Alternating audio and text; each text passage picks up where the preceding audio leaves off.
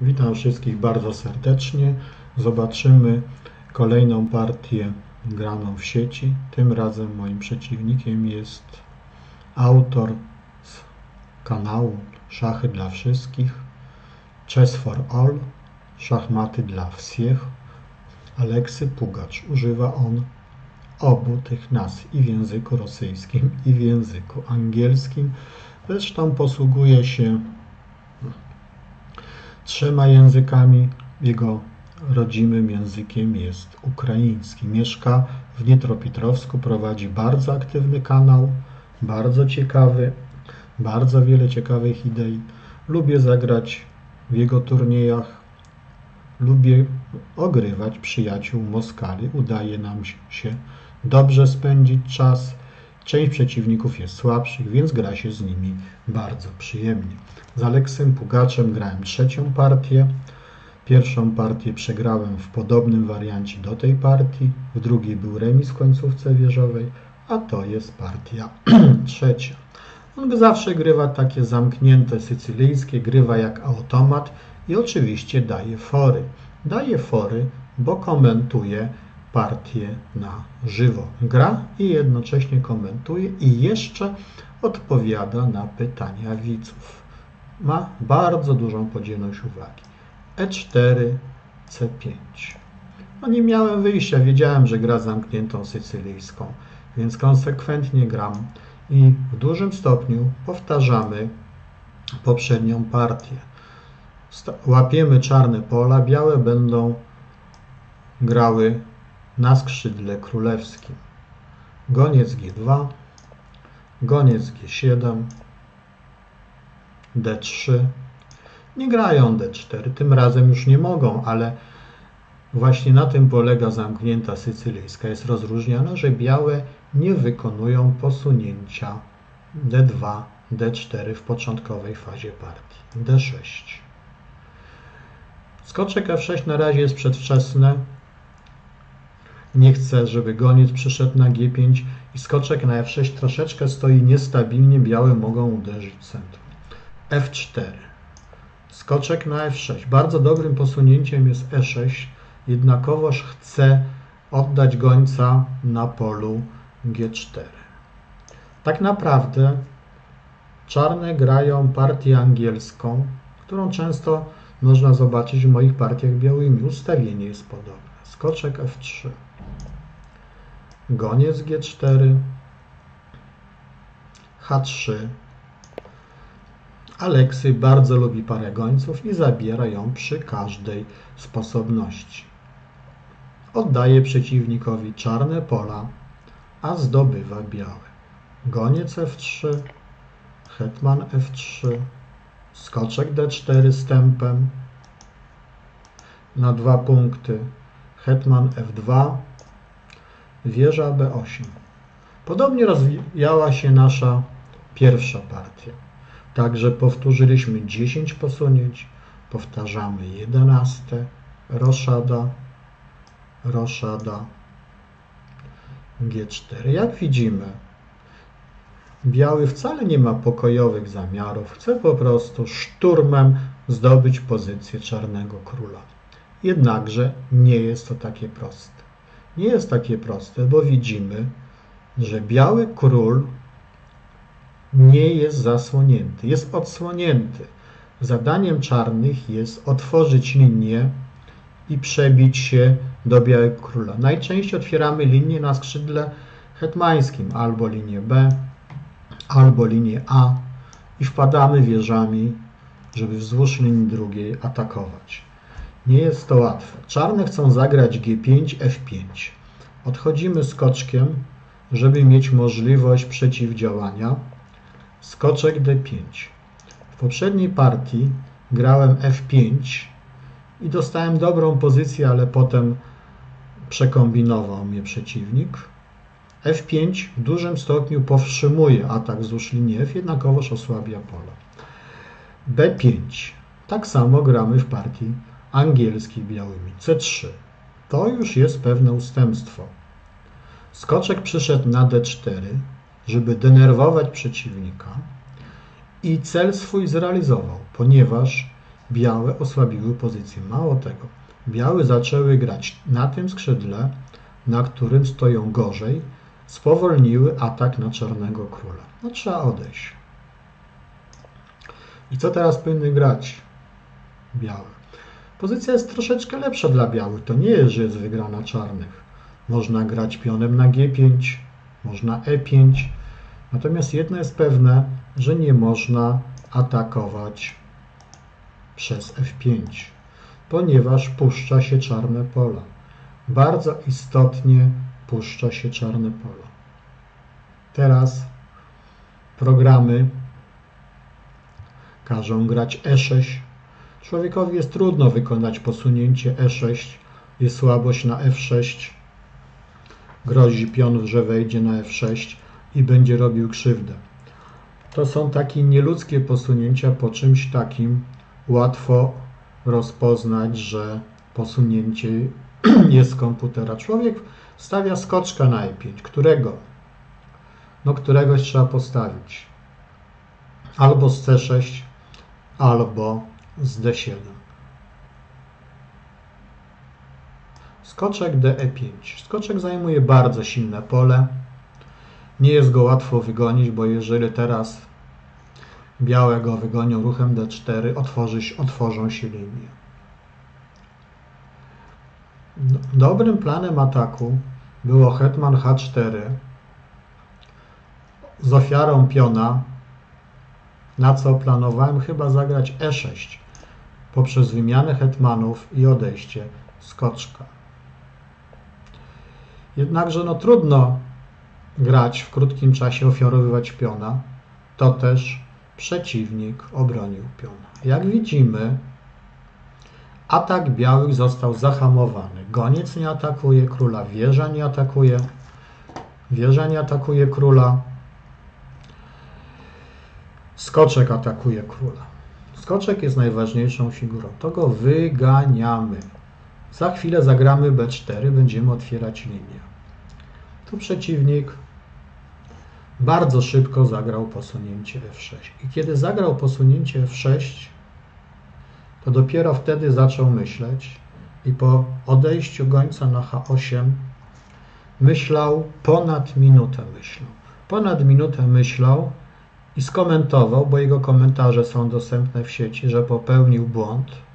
Jednakowoż wybrał najrozsądniejszą kontynuację. Skoczek E7 jest mat, więc trzeba skoczka bić. No gdyby skoczka na C6 nie było. Jest podwójne uderzenie, trzeba bić. To się odbyło kosztem straty dużego, dużej ilości czasu przez białe. Widzimy już, że atak białych się skończył. Ich możliwości aktywne zniknęły. Czarne mają przewagę na czarnych polach. Widzimy tu cały kompleks czarnych pól słabych w obozie białych. Ich problemem największym jest goniec. Goniec, który jest gońcem pasywnym. Ten goniec, na którego on stawiał. Generalnie uważam, że przeciwko obronie sycylijskiej goniec powinien na C4, jak grywał w swoich partiach wielokrotnie Robert Fischer. Goniec E3. Co teraz? Teraz bardzo dobrą kontynuacją jest B4. Jednakowoż możemy to na chwilę odłożyć i gramy C4 z uwagi na zdobycie bardzo ważnego skoczka na D3. Skoczek, który stoi na D3 czy na D6, biały skoczek daje dużą, dużą przewagę. Wymuszone tu nawet po, po moim C4 Aleksy skomentował, że chce postawić skoczka na D3. Hetman D2. Co teraz? No skoczek stoi dobrze.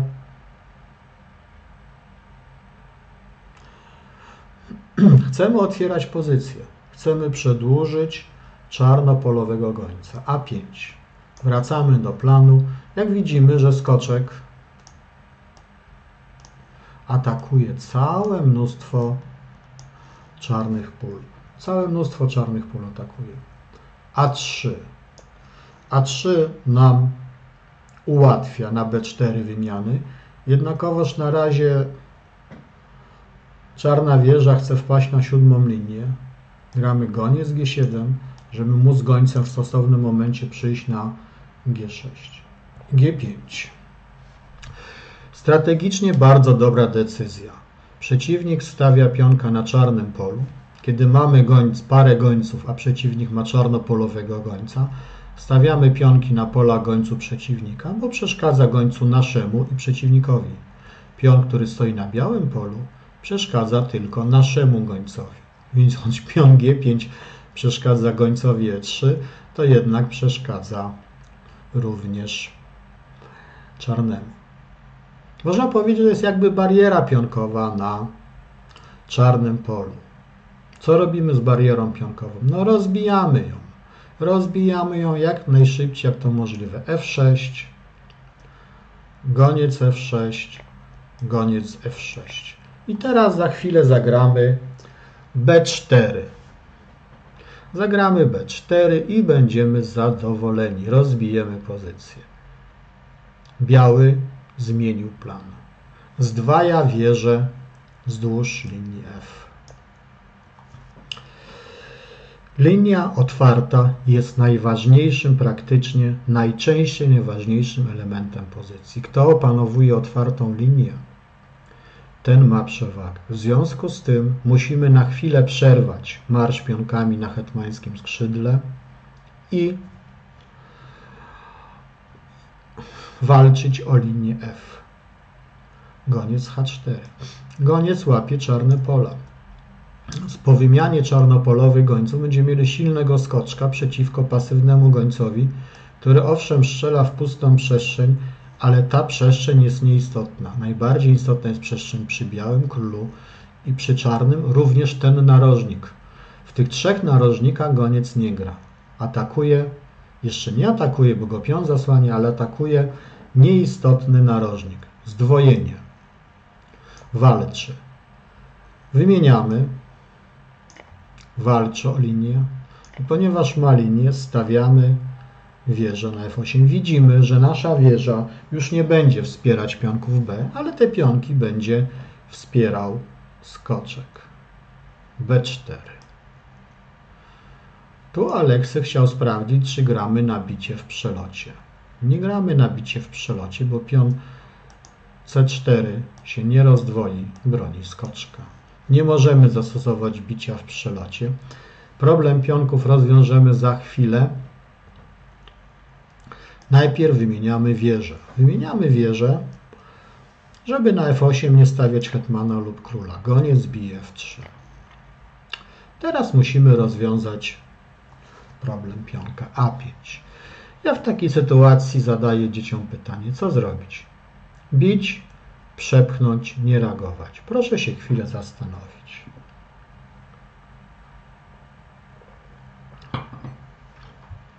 No, nie reagować, można nie reagować, bo jak pion zbije, to piony się osłabią. Można pchnąć, będzie słaby pion na A3,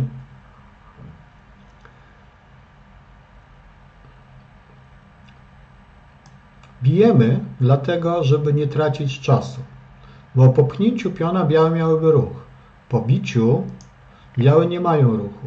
Nie mogą bić z pionem C, bo będzie wolny pion podparty, biją pionem z A. Teraz okazuje się, o jak tu strzałka nam pokazuje, możemy odejść gońcem, żeby przepuścić hetmana do ataku. Hetman nie może iść na G5, musi iść na H4 widzimy, że białe figury dominują na czarnopolowej części szachownicy. I gdzie ma odejść nieszczęsny hetman?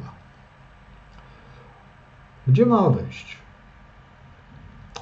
Najlepiej na C2, żeby bronić piona, na co niebezpieczne jest dla hetman H4 i padają dwa piony. Aleksy odszedł na 2, żeby tu mieć parę szachów.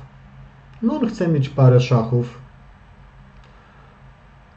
Tu podobno najsilniejszym posunięciem było goniec C3. Podobno, ale gdyby pion C3 był jedynym słabością w obozie białych, tak należałoby grać. Jednakże białe mają drugą słabość.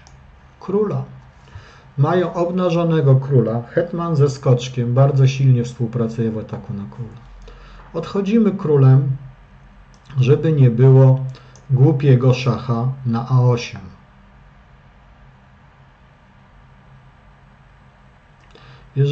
Hetman C2. No to teraz piona nie weźmiemy. Ale ruch jest prosty. Wprowadzamy do ataku hetmana po czarnopolowej szachownicy. Tu teraz jak biały hetman powróci, no to możemy po pierwsze wykosić. Wymienić hetmanek, weźmiemy pionki C3 i B4, to dwa pionki wygrywają bez trudu. Goniec G2. Wjeżdżamy w pozycję przeciwnika. Hetman napadł na gońca. Trzeba coś zrobić z gońcem. I nie bardzo jest co z tym gońcem zrobić. Już nie bardzo. Co można z nim zrobić? Na przykład na hetman e2 możemy zbić na c3 i po hetman e2 można różnie wygrywać. Różnie. Ja wygrywałbym w sposób najprostszy.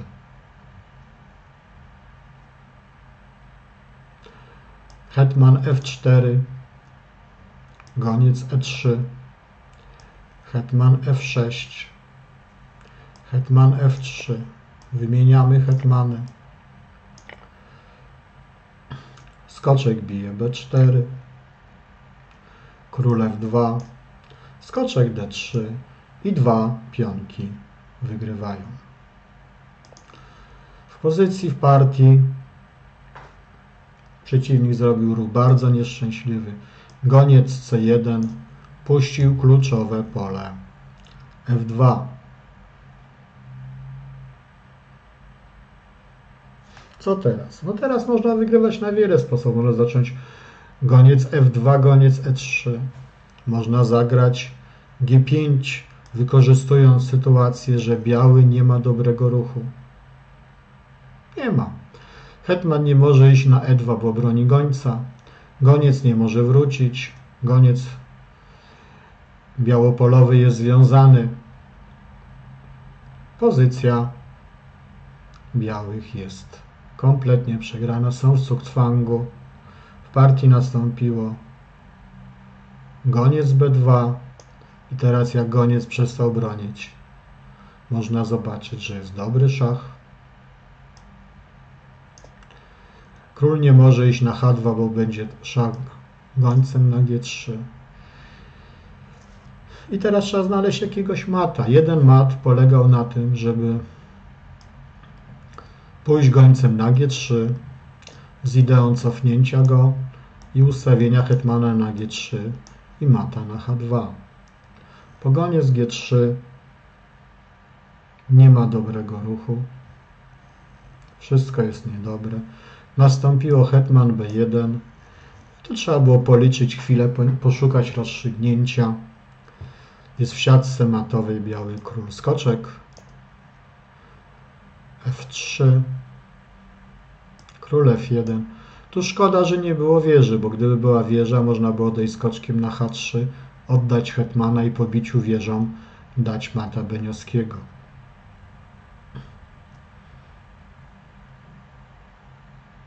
Król, skoczek F3, skoczek D1, przesłaniamy linię pierwszą, hetman przestaje bronić, król H1, hetman E1 i Aleksy poddał się. Pytanie, czemu gram na serwerze Alex w jego turniejach w sieci, a nie gram na żywo? Na żywo jest ciężko grać, ponieważ granie na żywo wymaga dużo czasu. Mam dużo obowiązków, więc grywam w sieci. Grywam w sieci, żeby mieć jakiś materiał szkoleniowy. Oczywiście następne pytanie, czemu pokazuję tylko wygrane partie? No bo przegrane partie wyrzucam, żeby się nie denerwować. Dlaczego mam pokazywać? No mogę czasem pokazać, ale nie, nie lubię się denerwować. A przegrane partie to powinien analizować zawodnik młody, rozwojowy, wyciągać wnioski, żeby nie popełniać błędów. Ja już nie jestem wyczynowym szachistą, zresztą nigdy nie byłem, więc oglądam partie wygrane, bo sprawia mi to przyjemność. Dziękuję za uwagę.